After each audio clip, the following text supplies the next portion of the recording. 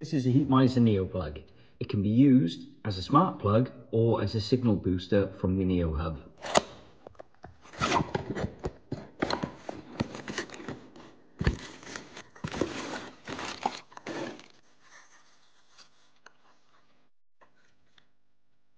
Plug straight into the wall. To pair it up, push and hold this for 5 seconds whilst you have the app open, searching for it.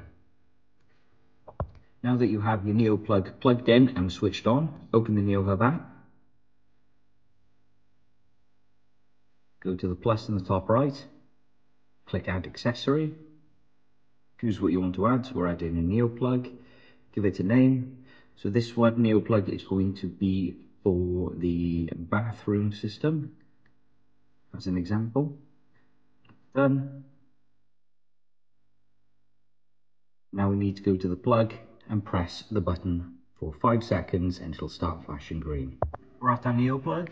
Now we need to push it and hold for 5 seconds. Should start flashing green. There we go.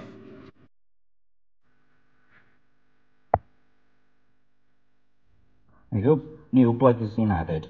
Click finish. To add another one, back up to the plus and repeat the same process.